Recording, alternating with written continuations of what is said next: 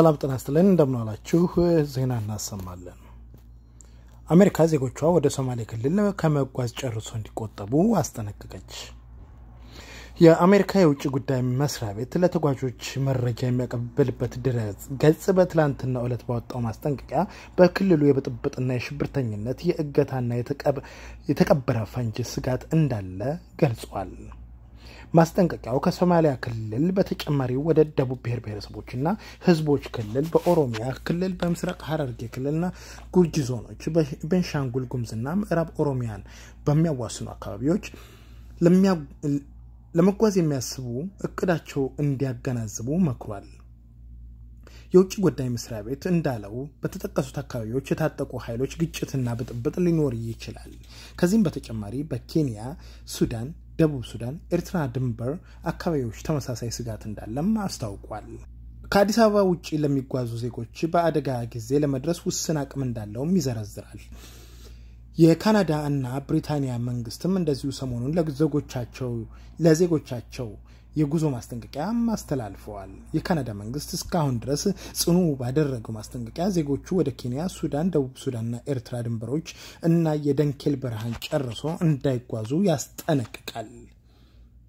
የብሪታንያ የውጭ ጉዳይ መስሪያ ቤት ወደ ጋምቤላ ክልልና ሶማሊያ ክልል ከመጓዝ እንዲቆጠቡ ዜጎቹን አስጠንቅቋል። መስሪያ ቤቱ የኢትዮጵያ ሶማሊያና ኬንያ የምትዋሰንባቸውን ድንበሮች መቶ ኪሎ ሜትሮች ያነሰ እንዳይቀር ብሏል። አዲስ ብድርና ቁጠባ ባንክ ተቋም በገፍ እየሰጠ ያለው ብድር እያወዛገበ ነው ይላል የዋዜማ ሬዲዮ ሪፖርት። ሁለት ወር ባልሞላ ጊዜ ውስጥም ከ200 ሚሊዮን ብር በላይ ሰጥቷል።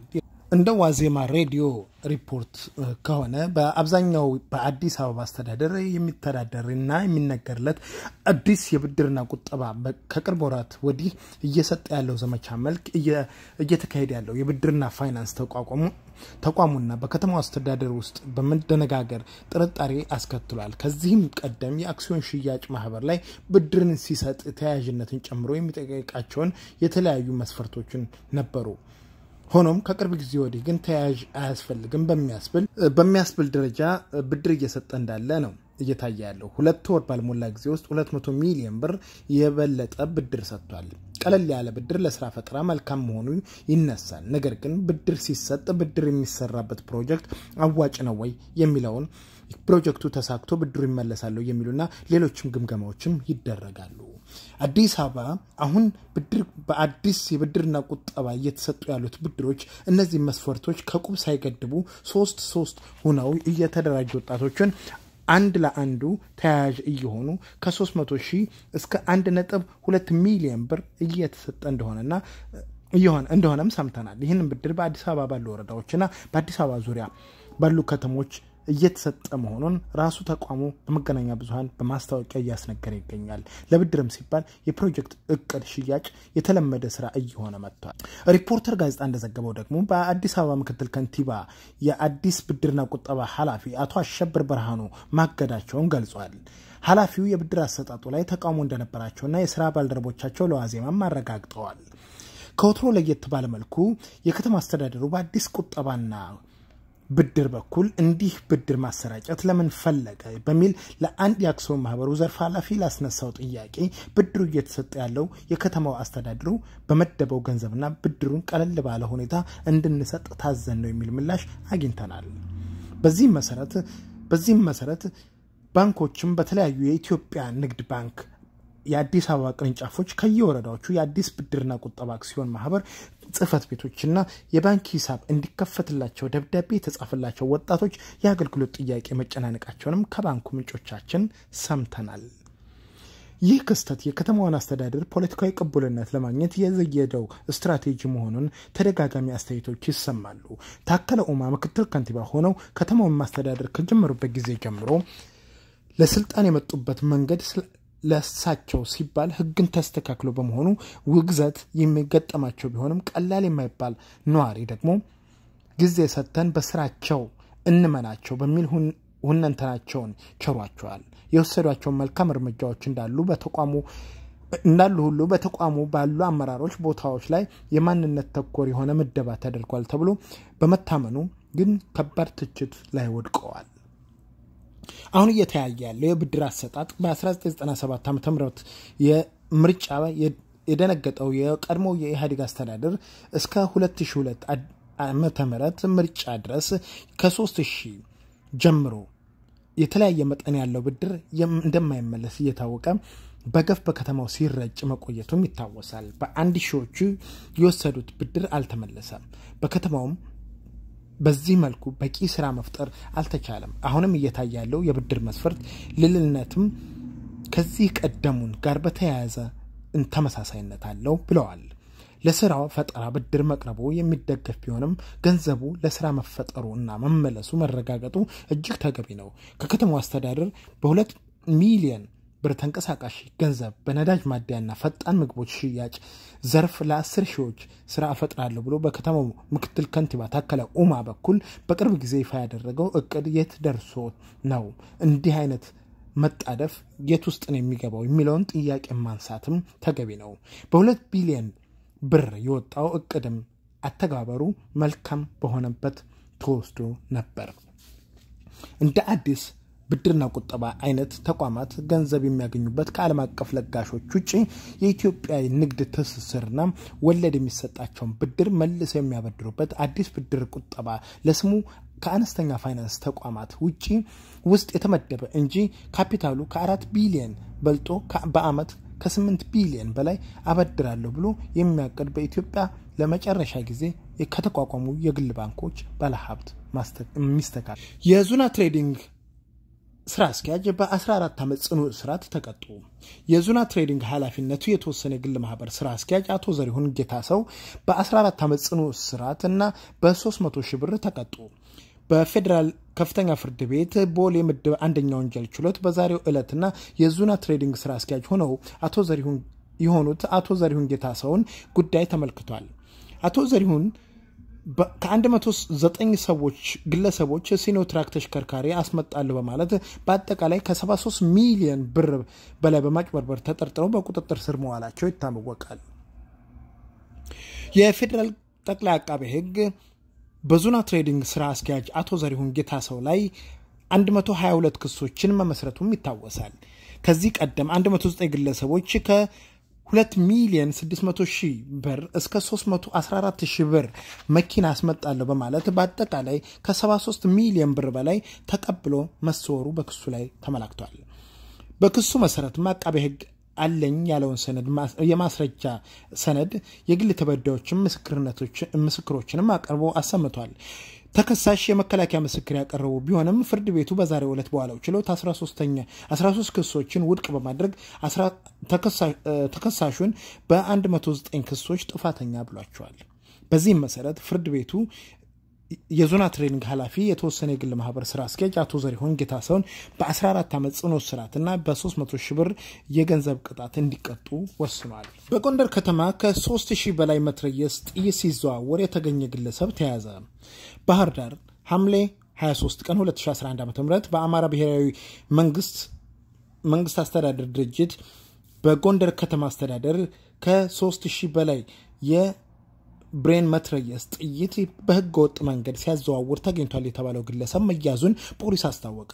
የከተማው ፖሊስ መምሪያ የህዝብ ግንኙነት ኦፊሰር ኮማንደር ማረልኝ ወንድም ለኢትዮጵያ ዜና አገልግሎት እንደተናገሩት ግለሰቡ የተያዘው ጥይቱን በከተማው ቀበሌ 16 ክልል በአንድ ባጃጅ በድብቅ ጭኖ ሲዘዋወር ነው ይላል።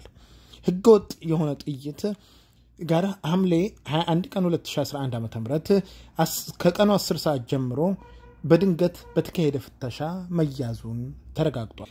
የህዝብ ተወካዮች ምክር ቤት አስቸኳይ ስብሰባ ሊያካሂድ ነው። ሐምሌ 23 ቀን 2011 ዓ ም በአማራ ብሔራዊ መስተዳደር የኢፍድሪ ህዝብ ተወካዮች ምክር ቤት አራተኛ ዓመት የስራ ዘመን ሁለተኛ አስቸኳይ ስብሰባ ሐምሌ 24 ቀን 2011 ዓ ም መጥራቱ አስታውቋል።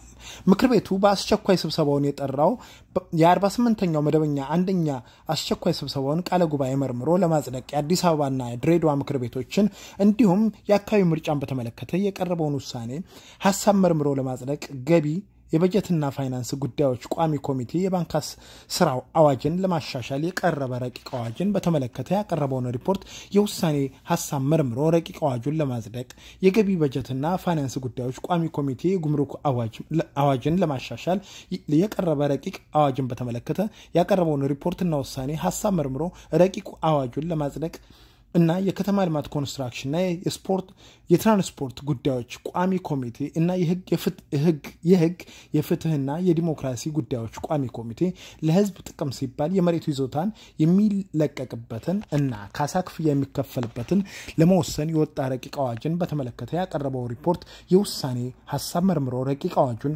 ለማጽደቅ መሆኑን ምክር ቤቱ አስታውቋል። በአማራ ክልል ባለፈው ከሶስት መቶ ሺህ በላይ የወባ በሽታ ታመው መታከማቸው ተገለጸ። ቁጥሩ ከቀዳሚው በጀት ዓመት ጋር ሲነጻጸር በ7.7 በመቶ ጭማሪ እንዳለውም ተገልጧል። በአማራ ብሔራዊ ክልላዊ መንግስት መስተዳድር እንደተገለጸው ወጣት አንደበት እሸቴና ወጣት ጋሻው ጌጡ በምዕራብ ጎንደር ዞን ገንዳ ወረዳ ከተማ ነው ያገኘናቸው ይላል ሪፖርቱ። በአካባቢው የሚገኙ የእርሻ ኢንቨስትመንት ቦታዎች ላይ ተቀጥረው ለመስራት በደንቢያ ወረዳ የሚካሄዳቸውን የአማራ ብሔራዊ መስተዳድር ተናግረዋል። ይህን እንጂ ለስራ የሚሰሩባቸው የእርሻ ኢንቨስትመንት አካባቢዎች የወባና ትንኝ መራቢያ አመች በመሆናቸው በአቅራቢያቸው ሕክምናውን ስለማያገኙ ጉዳት እየደረሰባቸው መሆኑንም ተናግረዋል። እነሱን ጨምሮ ወደ አካባቢው የሄዱ እየሄዱ ባሉ በሌሎች የጉልበት ሰራተኞች ላይ የሚደርሰው የጤና እክልም ከፍተኛ መሆኑን ተነግሯል።